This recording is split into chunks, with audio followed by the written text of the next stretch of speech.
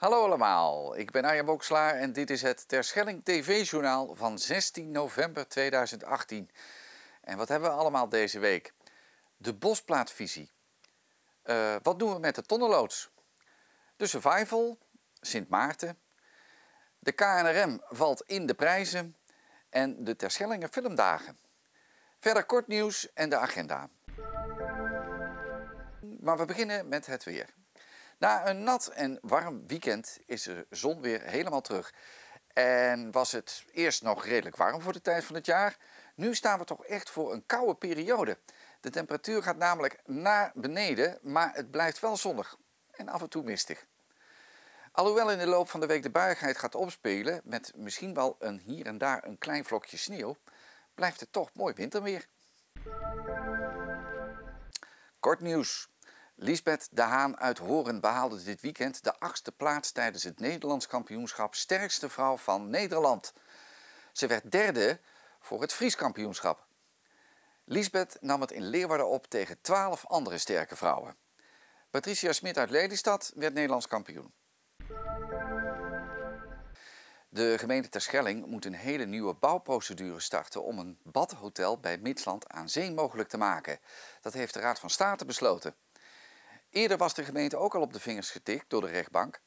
En de Raad van State is het nu eens met de tegenstanders. Het bouwplan wijkt te veel af van het badhotel dat er ooit voor de oorlog heeft gestaan. Gosse en Akkie Smit zijn 50 jaar getrouwd en dat werd afgelopen donderdag op grootse wijze gevierd in Formerum.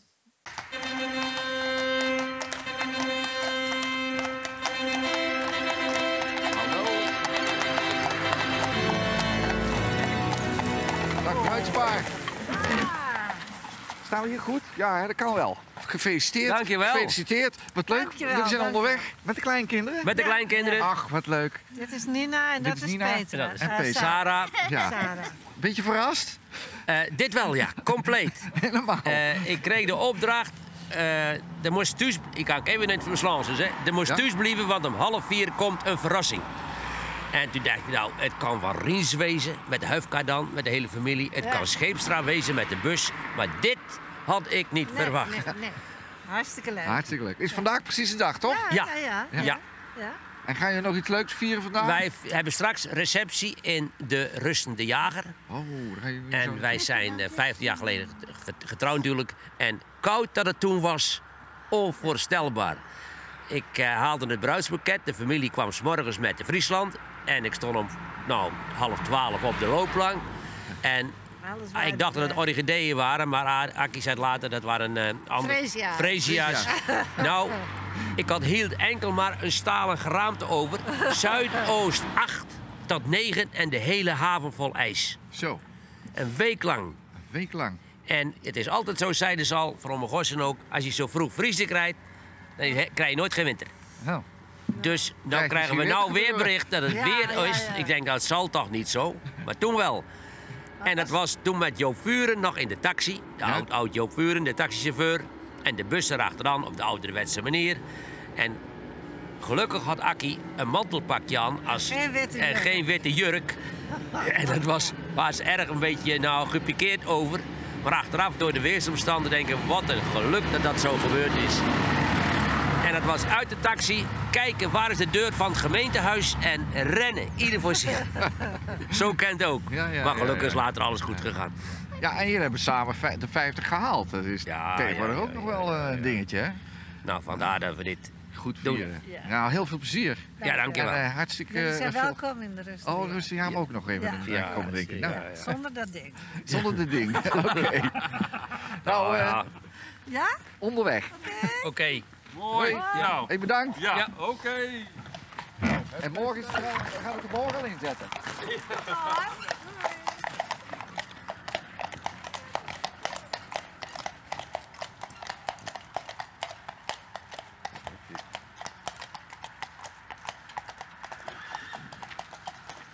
Nou, dat hebben we even goed gezien. Ja, we kunnen even naar die...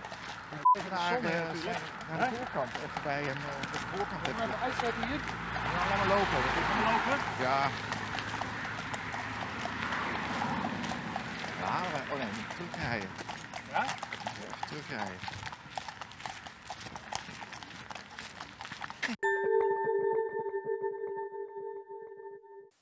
Al jaren wordt er gepraat over de tonnenloods op West. Wat moet daar nu mee gebeuren? De loods verloor grotendeels haar functie voor de betonningsdienst toen de stalen boeien, waarmee de vaargeulen en de obstakels in de Wadden en de Noordzee worden gemankeerd, werden vervangen door onderhoudsarme exemplaren van kunststof. En sindsdien werd er in het 100-jarige gebouw congressen en ook evenementen georganiseerd. En nu is dat verboden omdat het gebouw niet meer in optimale staat verkeert.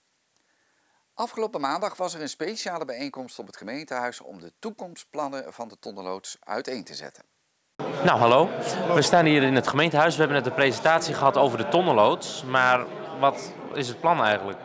Nou, het is heel simpel. In de afgelopen jaren zijn er heel veel ideeën uh, bij elkaar geveegd voor de tonnenloods. Um, en het wordt tijd om die ideeën concreet te gaan maken. De gemeente Terschelling, Staatsbosbeheer en Rijkswaterstaat, de laatste is ook de eigenaar van het gebouw, die hebben vanavond een document ondertekend waarin ze hebben afgesproken dat ze voor de komende jaren gaan samenwerken om de tonnenloods nu uit het ideeën tijdperk te halen en ervoor te zorgen dat er de komende jaren uh, daadwerkelijk van alles en nog wat gaat gebeuren. Nou, aan mij is de opdracht gegeven om uh, voor de komende uh, negen maanden, de komende negen maanden, een afgerond plan te maken. Waarmee je kunt zeggen dat als dat plan klaar is, dan is het ook startklaar, de tonnenloods. en dat betekent aan de ene kant het gebouw klaarmaken. En de tweede is voor de komende vijf jaar bedenken wat je inhoudelijk er gaat doen.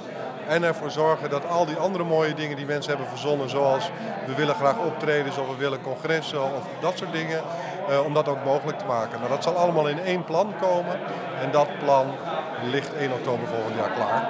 Maar ik heb gehoord dat de tonnenloods nu al dicht is. Hoe zit dat dan? Waarom is hij nu al dicht? Ja, de tonnenloods is op dit moment voor het publiek niet veilig. Uh, uh, er zijn te weinig vluchtwegen. Uh, brandveiligheid is niet op orde. Het, het, gebouw heeft achterstallig onderhoud. Hier en daar lekt het een beetje. Er zitten wat scheuren in de muren. Nou, dat gaat de komende tijd allemaal gerepareerd worden. Ehm, zodanig dat het gebouw weer heel lang mee kan. Oké, en je vertelde net dat Rijkswaterstaat nog eigenaar is van het gebouw. Blijft dat dan ook van Rijkswaterstaat en hun functie die het nu heeft? Hoe werkt dat verder?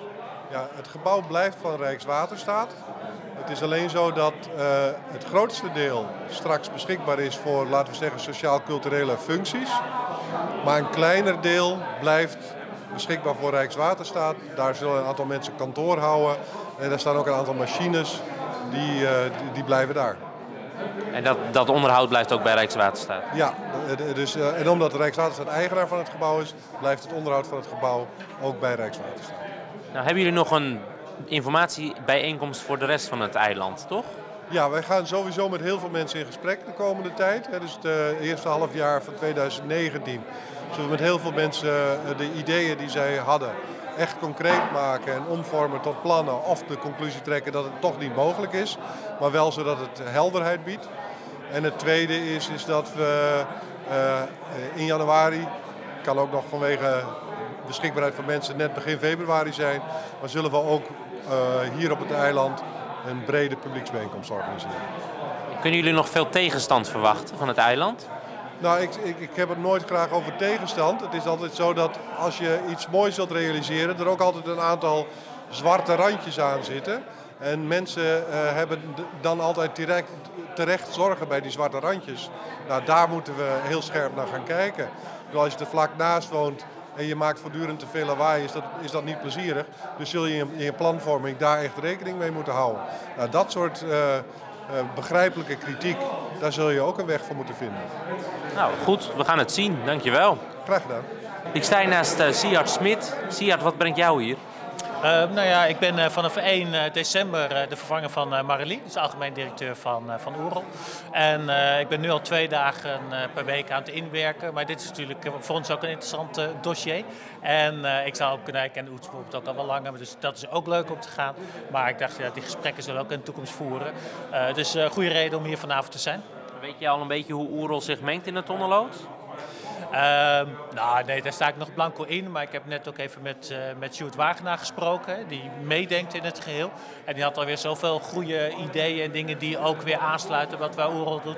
Dat we gewoon binnenkort dat gesprek eens gaan voeren en kijken van waar raakt het elkaar. Wat is interessant, uh, interessant om samen te werken en uh, waar niet. Hoe kun je elkaar versterken? Dat is eigenlijk het, ja, dan de zoektocht. Nou, leuk. Heel veel succes. Dankjewel. Dit hele weekend kunt u op allerlei locaties op West genieten van vele films. Want gisteren was de opening van de tiende Terschellinger Filmdagen.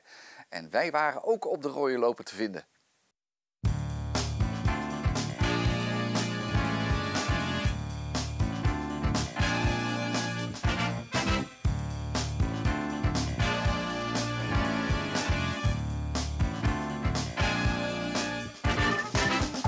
Nou, hallo allemaal. Uh, we zijn weer bij de Terschellinger Filmdagen. Ik weet niet of iemand uh, van jullie het nog herinnert van vorig jaar, maar toen waren we hier ook.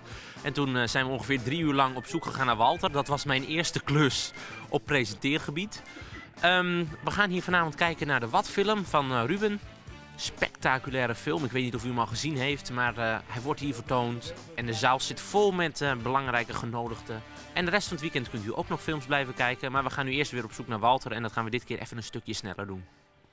Goed, ik sta hier naast Bert Wassink. Meneer Wassink, heeft u de film al gezien of is het uw eerste keer? Nee, ik heb die film al gezien, dus ik ben wel even benieuwd hoe het hier met de opening gaat. Uh, het is uh, natuurlijk prachtige beelden in die film te zien, dat uh, ga je meemaken. Maar ik ga zelf niet nog een keer kijken, want ja, er wordt op dit moment een beetje veel van het goede. En wat vond u het meest spectaculair aan de film?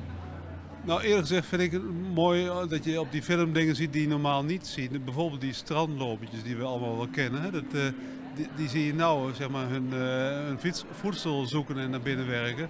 Nou ja, normaal gesproken kun je dat niet van zo dichtbij zien. Hè? Dus dat, en, en de zeehonden zijn toch wel imposant hoe ze met elkaar in gevecht gaan. nou, talloze mooie beelden. dus heel goed gemaakt. En vervult u vanavond bij deze opening nog een speciale rol? Ik, niet, uh, volgens mij niet, nee. Dat, niet bekend, dat, dat zien we vanzelf. Ja, maar het is sowieso leuk om erbij te zijn. Hè. Dat, uh, mooie uh, traditie ook, die filmdagen. Dus ik ben blij dat het weer begint. Geen lintje doorknippen? Nee, gelukkig niet. Nou, heel veel plezier dan. Oké, okay, dankjewel. Ja, zeker. Verlang, wat heb je vanavond voor ons? In plaats van snet bedoel je, hè? Waar je het niet over zeggen? Nee. Okay. nee, deze keer niet. Deze keer niet. Maar kijk, Willemijn die wil het graag even laten zien. Ik wil het heel graag laten zien. Ja, echt? Ja, helemaal in het, in, het, in het uh, hapjes die bij, bij het thema van de film horen. Dus ik begin aan die kant. Het zijn hartige uh, pofkes met zeesla. Er zit een stukje zalm op met uh, Nieuw-Zeelandse zilte spinazie uit de ziltetuin. Zo. Dit is een rolletje met waddengenalen. Met, met zo'n Leontien. Ja, daar ben je ook. met uh, zeewier mayonaise. En dit is een, een speldbroodje met zeekraalkaas, uienchutney en ijskruid. Heb je het geproefd? Nee, nog niet. Oh. Nee, nee dank u. maar uh, hoe ben je op het idee gekomen? Nou ja, op het idee, uh, bedoel, ik, ben, ik ben natuurlijk heel erg mee bezig met, uh, met de zilteteelt en de ziltetuin. Ja, tuurlijk. En uh, dit is ook wat we doen heel veel in, in de kookstudio bij mij. En werken met al die producten van het wat en uh, die we ook kweken in de, in de. Maar heb je dan ook nog bij andere films dat je daarbij catert met het thema van de film? Uh, ja, zeker. Er is ook eentje met plastic soep. Daar krijgen we nu plastic soep uh, te eten. nou, dat klinkt heerlijk. Daar kom ja, ik weer langs. Ja, zeker. Nou, deze keer iets sneller dan de vorige keer hebben we Walter gevonden. Walter, wat verwachten we deze filmdagen?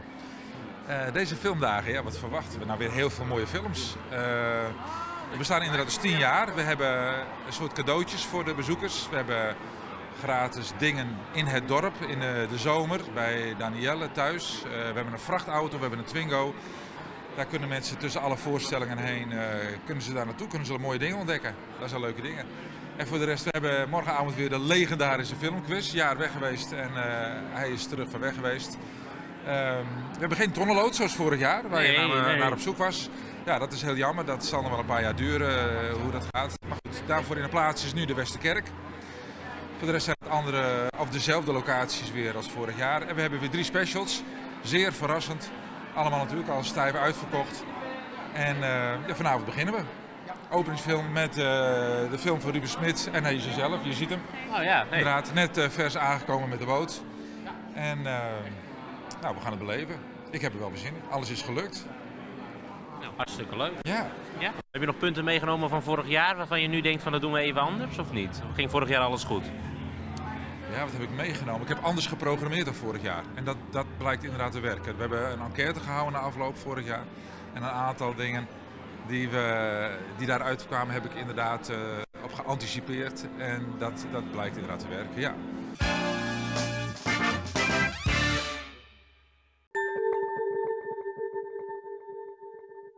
Zondag was het de 11e van de 11e. Uh, nee, dat heeft niks met carnaval te maken, maar met Sint Maarten. Vele kinderen gingen weer langs de deur om zoveel mogelijk lekkers te vergaren. En dat allemaal met het zingen van een heel mooi liedje. En Lennart zong even mee.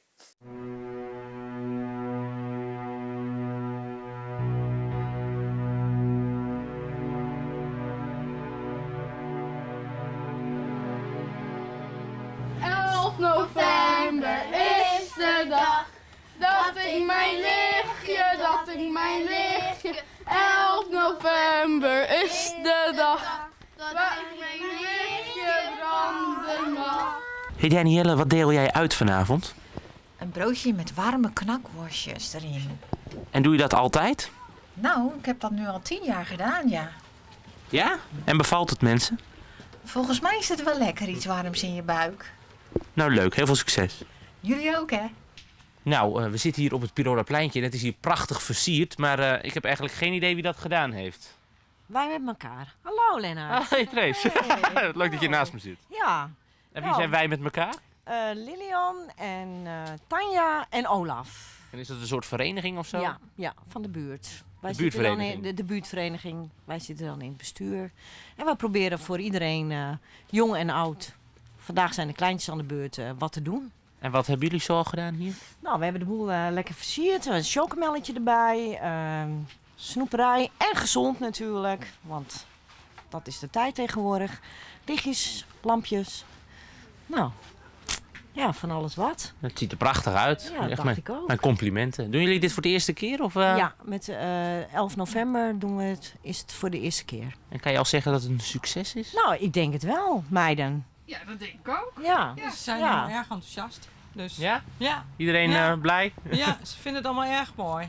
Ze kunnen even hier de chocomelk opdrinken. Ja, jullie hebben prachtige zitplaatsen gecreëerd. En hoe zijn jullie eigenlijk op dit idee gekomen? Met een vergadering. Wat gaan we doen? Ja, jullie wouden we... gewoon wat doen. En toen kwam... Ja. ja, dan maken we een lijst over het hele jaar. En wij dachten van nou, we gaan 11 november eens een keer doen.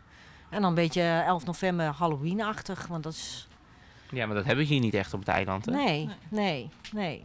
Nou, ik vind dat jullie het heel leuk opgelost hebben. Complimenten. Dankjewel. Dankjewel. dankjewel. heb jij ook wat gedaan uh, voor ja. Sint Maarten? Ik heb een van die pompoenen gemaakt. 10 Nog één keer. 10 november. Oh ja. 10 november is de dag dat ik mijn lichtje, dat ik mijn lichtje. 10 november is de dag dat ik mijn lichtje branden mag. Ja, dit is toch wel super, hè? Hey, uh, ik ga eens even kijken wat ik allemaal voor jullie heb. Nou, sta je bij uh, Marjan van Goor. Heb je het druk gehad? Nou, ik heb het ongekend druk gehad. Ik bedoel, uh, normaal een stuk of 20, 25, maar ik denk dat ik er nu al 40, 50 gehad heb. Of het komt door de gezelligheid op het Pirolenpleintje, dat het toch een beetje bekend geworden is. Of het komt door de, mijn felle lichtjes, want ja, dat zijn natuurlijk toch wel trekkertjes.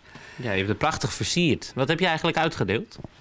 Nou, ik ben, niet, ik ben niet zo van de zelfbakkerij en uh, knutselarij. Dus ik heb gewoon ordinair zakjes snoep en uh, marsjes en bountytjes en snickertjes en dat soort dingen. En mandarijntjes, hè? Oh, ja, ja, ja. Ja, ja, ja, ja. ook nog mandarijntjes, ja.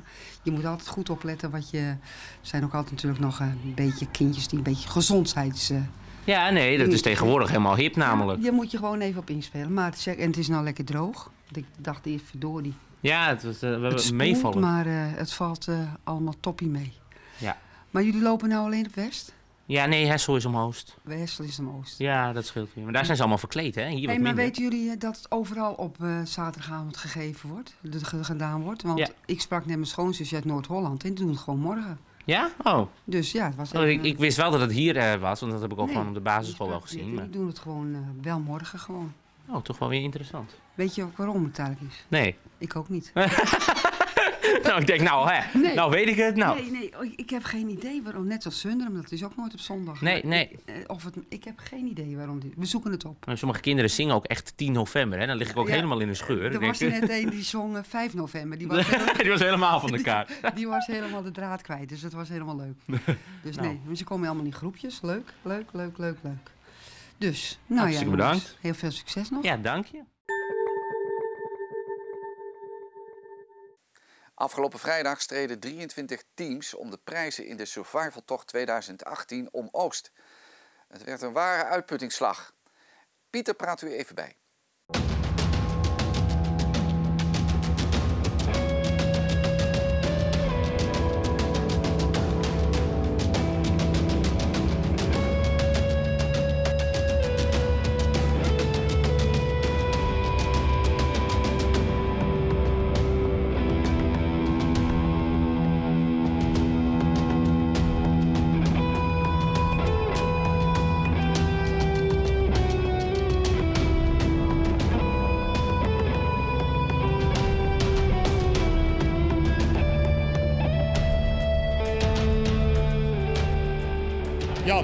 Jaar hadden we eh, op de survivalavond eh, zelf even voor de camera. Ja. Nu zijn we op de avond van de prijsuitreiking. Hoe is het verlopen gisteren allemaal? Nou, het is gisteren heel eh, goed verlopen. We hadden 23 teams. Haantjes was jammer genoeg uitgevallen. 23 team en hoeveel hadden we er vorig jaar? 24. 24 was het team Ja. meer. Bijna hetzelfde. Nou, het was, op zich was het prachtig mooi weer gisteravond. We hadden, we hadden even het idee dat het te mooi weer was, maar op een gegeven moment eh, trok het toch wat dicht. Maar het, over het algemeen was het prachtig mooi weer. Het is weer allemaal goed verlopen. Zeker, zeker. 23 teams en ook 23 teams over de finish. Ze hebben 17 teams hebben uitgelopen, helemaal rondgelopen. En eh zes teams eh, ja, die ben gestrand bij eh, de laatste twee of drie posten. Oké. Maar er werden verder geen eh, teams uitgevallen. Dus eh, hartstikke goed. Geen eh, ernstige Geen ernstige blessures. ble- blessures. Er waren sommigen die probeerden nog even, eh, terwijl ze met z'n zessen waren, dat er nog even één, twee man nog even eh, een extra proef zouden doen en dat één even rust kon nemen. Maar dat hebben ze met de kop ingedrukt, met de reglementen laten lezen. Van jongens, als jullie doorlopen, ook alle zes even de opdracht doen. Dus dat, is, eh, dat was cool. Dus een geslaagde survival tocht. Een beste survival tocht, hartstikke mooi. Iedereen was eh, zeer tevreden. En eh, het weer heeft ons niet in de steek gelaten. Nou, op naar volgend jaar. Op naar volgend jaar. En eh, ik hoop dat jullie er volgend jaar weer bij zijn. Eerst even een gezellige avond. Dankjewel. Ja, dankjewel. Ja, jullie ook bedankt. Ja, survival 2018, wat vindt Ander van? Anne vond het geweldig. Ja, het is wel goed. Jij zat de hele avond op het eh, crisiscentrum. Ja, op de hoofdpost zat ik samen met Sonja en Saskia. En het was fantastisch. Het was natuurlijk voor de mensen die liepen, was het natuurlijk helemaal, het was prachtig mooi weer. En eh, ja, we hebben weer genoten. Hartstikke goed. Wij ook. Iedereen denk ik. Dus volgend jaar ben je weer van de partij. Ja, zolang ze me nog willen hebben in het bestuur, dan blijf ik dan mooi even zitten. De survival zonder Anneke is zoals een auto zonder motor. dus jij bent er ja, gewoon weer dat- bij dat- volgend dat- jaar. Ja, ik ben er, eh, ja, dat is wel de bedoeling. Hartstikke goed. En Dank- ik vind het nog steeds leuk om te doen. Dus eh, ja. Super, dankjewel. Dirk, we kwamen jou ook tegen gisteren bij de survival. Gisteravond, wat was jouw functie? Nou, zo jaarlijks eh, als reporter, hè, Pat. Samen met Karel Schut als eh, cameraman. En dan, eh, Karel die maakt altijd een heel verslag van de survival. ja, die maakt een korte compilatie van nou, ongeveer een half uur. En dan nou, ongeveer anderhalf, twee uur beeldmateriaal. En dan, daar moet het van komen, ja. Oké, hartstikke leuk. Waar kunnen mensen dat terugzien? Op YouTube, vanavond eh, wordt het erop gezet. En eh, natuurlijk zometeen, hè, na eh, halverwege de prijsuitreiking, dan krijgen we dat ook te zien. Oké, dus de, de, heel verslag van de survival kunnen mensen op YouTube vinden. Waar kunnen ze dat bekijken? Op schellingfilm.nl denk ik, zoiets. YouTube op Schellingfilm, Ja, vinden ze vind het je wel. uit- Vind je dat uit wel? Oké, nou we gaan ook even kijken. Dat lijkt me wel, ja, want het was weer fantastisch. Het ziet er al gezellig uit. Veel plezier vanavond. Ja, dankjewel. Afgelopen vrijdag is de Bosplaatvisie officieel gepresenteerd. De visie is nodig omdat de bosplaat sterk aan het verouderen is en verschaalt. Ook de stijgende zeespiegel was een reden om de toekomst van de bosplaat in een nieuwe visie vast te leggen. Maar wat is die visie nu eigenlijk?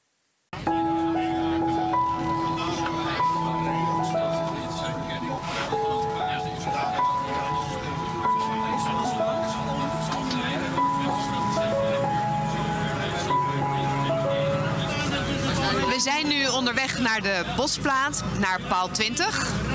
En dat allemaal omdat daar de presentatie van de Bosplaatvisie gaat plaatsvinden.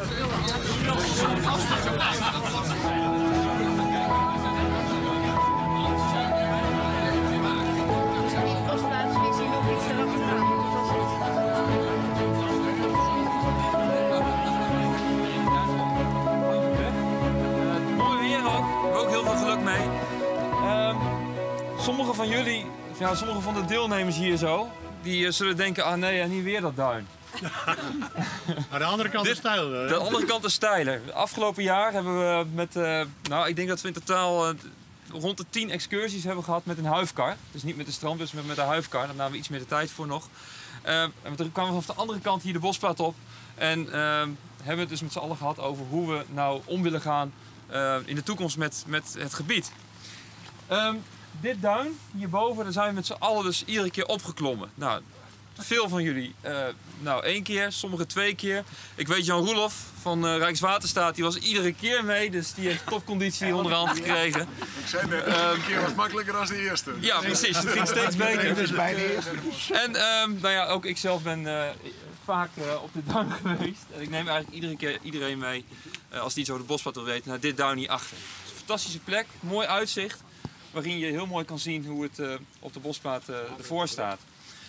Ehm, een collega van ons, eh, die moet hier ergens aanwezig zijn voor een wat uitgebreider verhaal over waarom wij de visie hebben opgesteld met elkaar. En ook wat daar dan precies in staat.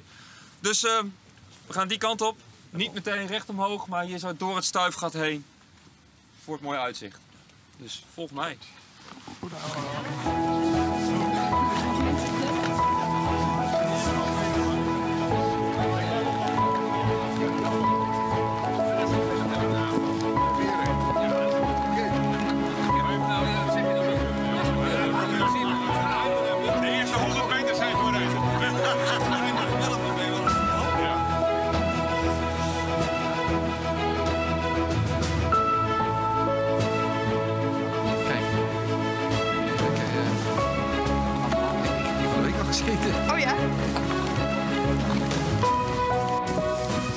Teruggaan in de tijd, 1600, dan was dit ongeveer het eind van de Schelling.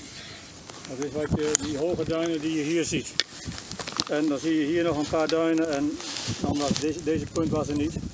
En wat hier was, dat is eigenlijk niet goed bekend. Want de oude kaarten die gemaakt werden vroeger, die werden gemaakt voor zeevarenden.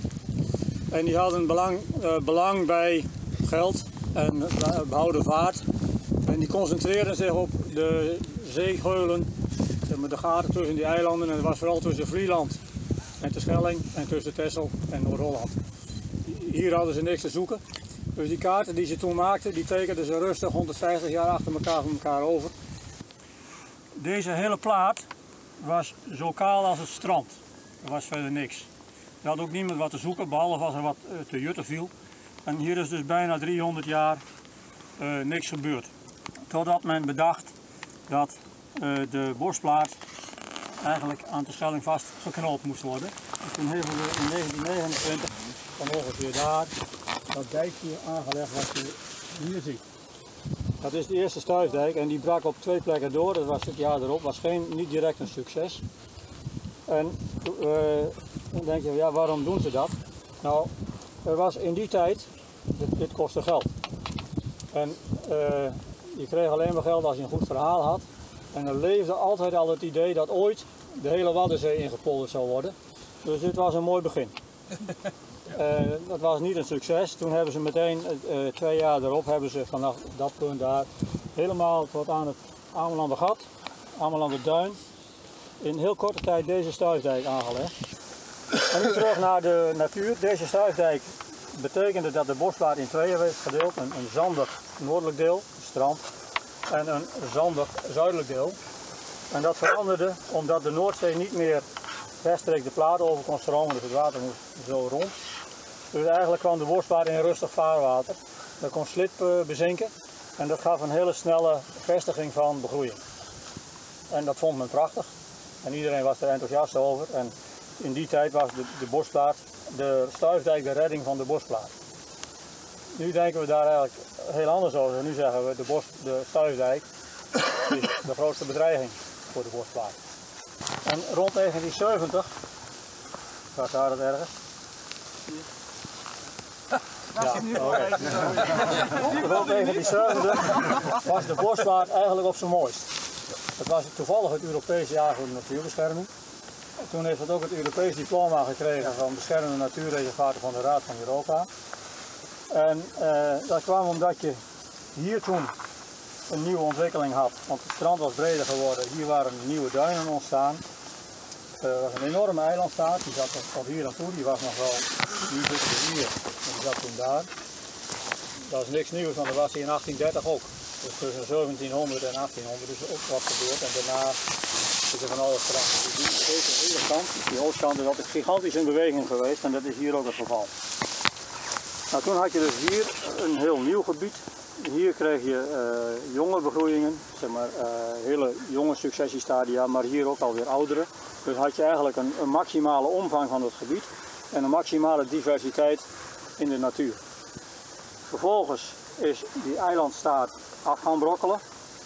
Langzamerhand vanaf 1970, 1980 en, nu zitten we hier. Dit is ongeveer waar die in 1700 ook was. En ja, de vraag is, gaat hij weer aangroeien of niet? Eh, inmiddels is die begroeiing veel ouder geworden.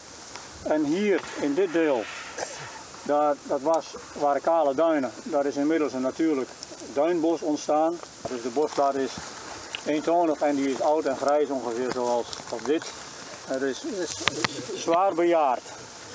Hier achter u, als u allemaal even omdraait, dan zie je wat dat kan opleveren. Dit, dit proces van meer dynamiek in de duinen, dat is in 1995, 94, 95 gestart. En dat heeft dus een totaal ander landschap opgeleverd. En nu kunnen we aan de, aan, aan de bodem zien wat voor effecten dat heeft. Nou, al dit soort wetenschap en kennis en pseudowetenschap en boerenverstand hebben uh, meegespeeld bij het tot stand komen van de uh, ideeën voor die visie. Dat wil zeggen dat we graag een deel van die stuifdijk weer in beweging willen brengen. Zeg maar, en aan het oostelijk deel hier eigenlijk kijken of die wasovers kunnen. Nou, zo hebben we iets over de begrazing uh, bedacht, want dat kan ook meehelpen om die jongere stadia in stand te houden. Maar kortom, een heleboel maatregelen die mogelijk zijn om de in de toekomst de bosplaat rustig oud te laten worden op sommige plekken, maar op andere plekken ook een grote verjongingskuur te geven. En ik hoop dat u er straks iets hoopvols over gaat zeggen. ja, dankjewel. Ja. Um, ja, nou ja, goed. Uh, Freek heeft een mooi verhaal verteld uh, al boven op het duin, zo net. Maar wat is er aan de hand met bospraat? Het gaat over veroudering en verruiging, de afname van biodiversiteit, een eentonig, eentonige landschap en de zeespiegelstijging. Wat natuurlijk een groter thema is voor het hele eiland. We gaan niet stilzitten, we gaan al met jullie aan de slag. De bosplaatopleiding start uh, komend jaar, daar zullen jullie meer over horen. Uh, maar we hebben ook met elkaar de ideeën uh, voor de kennisbank bosplaten.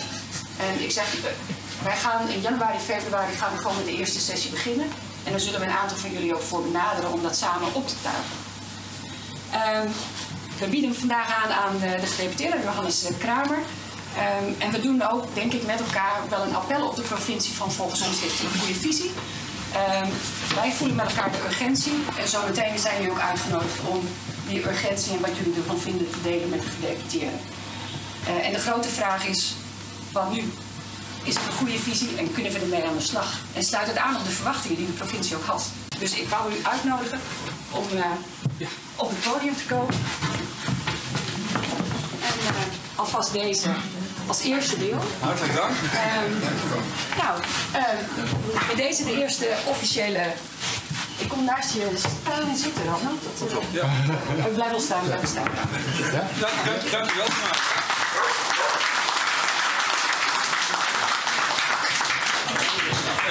Ik heb eh, zo net ook op de eh, duin mogen staan. En eh, ja, je hebt natuurlijk biologie met Freek. Dat is een heel belangrijk en heel populair tv-programma, vooral bij de jeugd. Maar hier hadden we nog een Freek die een hartstikke goed verhaal vertelde. 400 jaar in 10 minuten.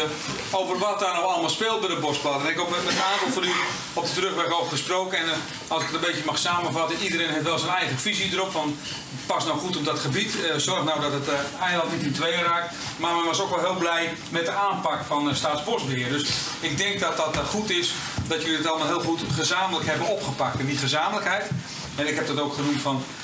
Een eiland is een verhaal, een verhaal van de natuur, maar ook van de mensen die er wonen. En die gezamenlijkheid, waarin jullie met elkaar dat verhaal maken, eh, vi- vind je ook terug in de visie. En daar gaan we natuurlijk graag met elkaar eh, mee door. En als provincie zullen we er ook voor zorgen dat dat visie ook met elkaar verder wordt uitgewerkt. Want dat vinden we wel belangrijk. En ik wil jullie daar ook een beetje mee feliciteren. Want ik, ik heb vroeger op, op Vlieland gewoond. En daar ken ik Remy ook nog van. En Re- Remy is naar Terschelling toe geëmigreerd. Ja. Ja, sorry. En ehm, dat... eh, en de Vlielanders en ik keken altijd toch wel een beetje met een mengeling van jaloezie en bewondering naar Terschelling. Want Terschelling is een- zijn een beetje de Amerikanen van het Waddengebied. Het is altijd groter en beter en mooier op Terschelling. En ik hoop dat u dat kunt beamen. Ja? En,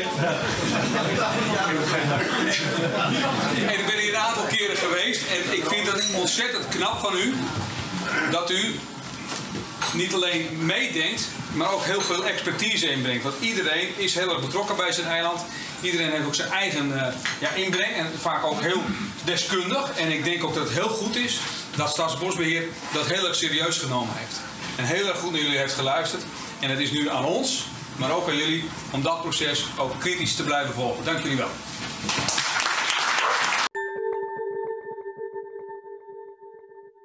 De KNRM van West aan Zee hebben een internationale IMRF Award binnengesleept voor een Outstanding Team Contribution to a Maritime Search and Rescue Operation. Een hele mond vol. Maar het is zeg maar de Oscar voor het reddingswezen die ze hebben gewonnen.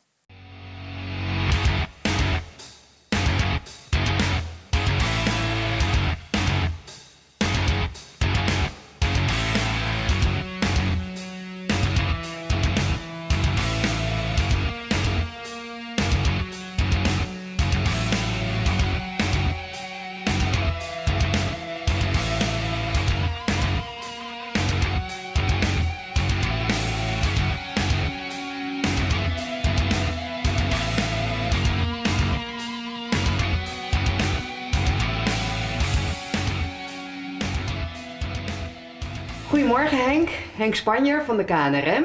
We staan hier eh, in de, hoe noemen we dit? De, Dit is eh, het boothuis, het eh, boothuis. van het reddingsstation Paul Achterschelling.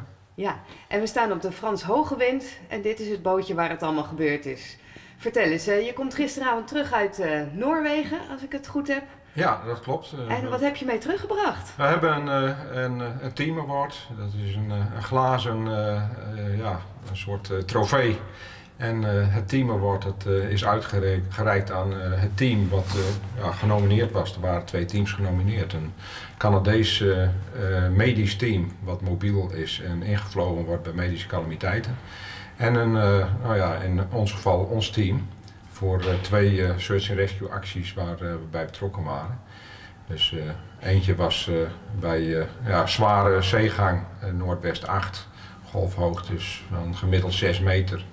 Er zaten wel van eh 10 tot 11 meter bij. En, ja, station West met Arie Visser was daarvoor ook gealarmeerd. Eh, station eh Ballenmerbocht van Ameland. Mhm. Maar dat zijn all weather boats, dus dat zijn gesloten boten. En wij hebben ja, een half open boot. Ja. En dat maakt het eh, eh, met die tocht toch wel iets bijzonderder, iets spannender. Ja. Het is een enorm wendbare boot, dus we kunnen onze eigen weg door de branding en de brekende zee en aardig zoeken. En soms krijg je hem toch onverwachts op een plaats waar je hem niet wil hebben. En ja, dat zijn de spannende momenten, maar eh, het is gelukkig eh, ja, allemaal goed gegaan. Ik zeg gelukkig, maar dat is niet helemaal natuurlijk, want wij trainen en oefenen iedere woensdagavond. Mhm. En eh, wij zoeken het ook altijd een klein beetje. Ik zal even de marifoon even een klein beetje zachter zetten. Ja. Maar desalniettemin, jullie hebben wel geoefend. Ja. Maar dat het dan toch nog spannend is, kan ik me wel iets bij voorstellen. Nou, dat is het natuurlijk dan sowieso. Want eh, dit zijn wel de momenten. We hebben op, eh, op de overgang gestaan, op strand eh, Duinen. Toen we daar met de, de trekker en met de hoge wind eh, onderweg naar het strand overheen gingen. Ik had van tevoren drie man die met mij mee zouden moeten, had ik uitgeselecteerd. Het eh, liefst gaat iedereen mee, maar ja, je moet in een split second moet je toch een, eh, een keuze maken. En, eh, ja, dan is het een beetje een, op dat moment afhankelijk van wie zijn er en, en wat kies je. En het heeft niks met de persoon te maken, maar soms met achtergronden. Ik had de afweging gemaakt, een, een hele oude rot in het vak, Cor Bakker. Die kan varen als de beste. Dus Ja. ja, als het nodig is, zou die het roer over kunnen nemen. Ik had Harm Reinders gevraagd, want dat is een eh, ja, machinist. En eh, ja, als er motorisch iets eh, mocht, mocht misgaan, dan zou hij daar eventueel zo'n mannetje kunnen staan. En Erwin Fokma was de andere persoon. Eh, jonge knaap. En als je iemand over moet zetten, ja, dan heb je gewoon een jonge energiepersoon nodig. En, Ja. Dus dat is eigenlijk in een hele korte moment kies je de mensen. Toen waren we op strandsovergang. Toen we daar overheen reden, toen hebben we elkaar nog wel even in de ogen gekeken. Heb ik iedereen op de man afgevraagd, ga je nog mee? Want Ja. op dat moment zie je pas echt eh, ja, de omgeving waar je naartoe gaat. En eh, ja, de Schellingers weten het, met noordwestenwind en een storm die een tijdje doorstaat, dan is zover het oog reikt, is alles wit. Dus Ja. dat is wat je ook tegen gaat komen. Ja, en dat is dan toch wel even een moment Dat is een, is een moment dat je zegt van eh, gaan we Ja. dit doen met z'n eh, vieren. Ja. Eh, je hebt voor die tijd de notenbroek van het schip in nood gehoord. Dus je weet, er zijn mensen in problemen. Ja, Toen we eraan kwamen hadden ze gelukkig het enigszins weer onder controle. Want de brugramen waren eruit geslagen. En, ja, ze hadden geen voorstuwing meer. Nou, en in die zeeën val je dan dwars en dat wil je niet met zo'n bo- boot. nee. Dus ze waren al gekleed in overlevingspakken. Ze waren klaar om het schip te verlaten. En, Oké. Op dat moment hadden ze toch weer een motortje aan de praat. Hadden ze weer een klein beetje voortstuwing. Maar ze hadden het nog wel erg benauwd. Dus eh, Ja. ze vonden het heel erg geruststellende gedachte dat wij daar eh, ter plaatse waren. Mooi. Eh, jullie ehm, hebben deze prijs dus in Noorwegen gekregen. Is dit echt iets uitzonderlijks? Of zeggen jullie van nou, Het, het is een internationale prijs. Een Mhm. internationale prijs voor, ja, dat zeggen ze ook, outstanding contribution in search and Mhm. rescue operations. Dus het is een buitengewone bijdrage aan eh, een search and rescue operatie. ja, Andere stations waren erbij betrokken, station West, station Ballenbocht. We Mhm. zijn naar de Zoutkamp 80 geweest, dat was eh, toen met eh, heel koud weer. ja, En met het hele koude weer, ja, we, s- er konden eigenlijk geen reddingboten meer uitvaren omdat de Waddenzee bedekt was met ijs. ja. Want dat was de, dat was de tweede Ja, waarvoor de, de- jullie de genomineerd linkerwenda. En Mhm. eh, ja, toen waren van het team waren er in elk geval Harm Rijn, dus en Erwin Fokma ook weer mee. Ja. Eh, daarnaast hadden we toen eh, Gert Haasma, die was mee. En eh Jorte Ruig, die was ook mee. En met die actie ja, werden we eigenlijk gepiept met de vraag of wij nog wel konden varen. Nou, wij konden nog lanceren hier aan de Noordzeekant. Oké. En Eem, eh, station Eemshaven was ook gealarmeerd. Eh, de Susanna, dat is zo'n oud type reddingboot, dat zou eh, de Linkwenda slepen. Maar die kregen problemen omdat ze een tros in de schroef hadden. Oké, ook en nog eh, eens. zij zijn toen teruggekeerd en wij werden eigenlijk gealarmeerd om hun te assisteren. Toen zaten we boven de Bornrif en toen riep het kustwachtcentrum ons op van de Susanna, die redt het in zijn eentje. Mhm. De Janna Titia Visser van station Eemshaven, dat gaat naar de Linkerwenda toe, dus jullie mogen terugkeren. En op Ja. dat moment hebben we besloten, nee we zetten door, want we zijn nu toch al onderweg. Ja. En je weet nooit wat de situatie daar ter plaatse is. Nou, wij kwamen toen als eerste aan en bij het eh, aanvaren van het schip eh, raakten we zelf al een paar keer even de grond. Dus dat hield in dat er heel weinig water stond. Oké. Nou ja, de Jan Titia Visser is een eh, gesloten boot. Natuurlijk veel comfortabeler in die situaties. Mhm. Alleen die, ja, de Jan Titia Visser, die kwam even later als ons en die kon er helemaal niet bij komen. Dus eh, we hebben een man toen overgezet, Harm Reinders is overgestapt en we hebben Harm eh, gev- gevraagd wat de situatie aan boord was. Ja. En eh, dat ze op een gegeven moment toch een beslissing moesten nemen, want anders, het was afgaand water, zou zelf vast komen te zitten. Nou, dat bij temperaturen van min 8 en een oostenwind van 8, gevoelstemperatuur zo'n beetje rond de min 20. Dat zagen we zelf ook niet zo zitten. Dus, uh, wij uh, wilden op dat moment heel erg graag dat we nou ja, een keuze gemaakt zou worden. Mm -hmm. Dus die drie vissermannen hebben besloten om over te stappen. Wat ja. niet helemaal makkelijk ging, want onze hele boot was inmiddels één ijsklomp. Hun boot ook. Dus het ja. was een beetje glibberen van de ene boot naar de andere. Er stond ook nog wel een beetje zee, dus je moet nou ja, op het zeetje met een heel glad dek. En nou ja, iedereen die onderhand een beetje erg koud aan het worden was. Dus je hebt koude handen. En... Maar uiteindelijk uh, we hebben ze overgenomen en uh, toen konden we daar nog net wegkomen van die positie. En uh, zijn we naar diepe water gevaren en toen hebben we de drie geredden hebben overgedragen aan de gesloten boot, de Jan ja. Visser. En die heeft ze vervolgens meegenomen naar station Eemshaven dat was voor hen ook eigenlijk best wel een, een, een, een zware tocht. Ja. En uh, ja, wij zijn uh, teruggevaren naar, uh, naar paal 8. En onderweg ja, verloren we contact met het kustwachtcentrum, of zij eigenlijk met ons. We waren op een gegeven moment even niet meer te zien op AIS. En wij moesten ieder kwartier roepen en dat probeerden we, maar we kregen geen contact. Oké. Uiteindelijk bleek dat een van de marifoonantennes gebroken was door de ijsafzetting, was die te zwaar geworden en die was daarmee ja, eigenlijk verwoest. Toen hebben we het op een andere marifoon geprobeerd, toen ging het weer wel. Maar ja, dat zijn dan wel van die momenten dat ook. Uh, zie, wij krijgen een, een, een award. En is dat belangrijk? Ik denk dat het voor de reddingmaatschappij belangrijk is, omdat het namelijk een erkenning is voor het werk uh, wat ze doen. Niet alleen wij, maar ook de hele organisatie. Mm -hmm. En ik zie het ook heel erg sterk. En dat is tot nu toe misschien nog niet echt zo benoemd, maar de mensen achter iedere redder staat ook een thuisfront. Je hebt uh, familie, vrienden en ja, op het moment dat jij uitgaat, jij zit in de situatie, jij beleeft het mm -hmm. en jij weet hoe de vlag ervoor staat. En het thuisfront weet dat niet. Nee. En de mensen die achterblijven in het boothuis en mee zitten te kijken, die weten het ook niet altijd. Ze proberen mee te kijken, maar soms missen ze toch een stukje van de film. Nou, met name in extreme omstandigheden is dat eigenlijk wat je niet wil. Nee. Als achterblijven zitten te kijken naar een schermpje waar mogelijk dat bootje in één keer weg is. Want je weet niet wat er is. Nee. Ja, dus, dus is eigenlijk is het. Die ja, award is ook voor de. Ik vind uh, dat de award ja. zeker ook verdiend is uh, voor het team, maar ook het team wat erachter staat. En ja. die zijn echt heel belangrijk, want uh, zonder zeg maar het thuisfront, support van het thuisfront, kunnen wij dit ook niet doen. Nee. En daarnaast heb je natuurlijk ook altijd nog je, je werkgevers. Voor de, het zijn een aantal mensen die hebben een eigen zaak. Nou ja, die leveren persoonlijk in. Je hebt ook mensen die zijn nou ja, gewoon in dienst van. Ikzelf ook. En dat moet je ook uh, door de werkgever gegund worden dat je dit werk mag gaan doen. Ja, nou het is belangrijk genoeg. Ja. Van harte gefeliciteerd voor het hele team. Voor het hele team, dat vooral. Voor alle ja. thuisfronters. En ja. uh, fijn dat deze waardering uh, zo jullie kant op is gekomen. Ja, en ik wil natuurlijk ook nog, we gaan zo meteen een paar trouwe donateurs nog in het zonnetje zetten. En uiteraard kunnen wij dit werk alleen maar doen omdat de donateurs er zijn. En ja, ook die krijgen nu misschien een beetje erkenning dat ze weten van uh, internationaal gezien, want het is een prijs die is uh, internationaal dan zeg maar toegekend. Ja, dus dan dat, weten ze waar ze het voor doen. Ja, ja heel mooi. Ontzettend bedankt. Dus vooral blijven doneren. Ja. ja. Dankjewel. Oké. Okay. Goedemorgen mevrouw Bakker-Zwart, Lida mag ik zeggen. U bent al 50 jaar donateur voor ehm, de KNRM. Wat betekent de KNRM voor u? Ja, ik ben er eigenlijk mee opgegroeid met water. Ik kom uit een zeemansfamilie, dus ik heb nooit beter geweten dan de KNRM. En als, in mijn jeugd als klein kind gingen wij hier al naartoe als de reddingboot uitging. U heeft niet zelf persoonlijke ervaringen met uh, familieleden of uh, bekenden die uh, gered moesten worden? Nee, nee.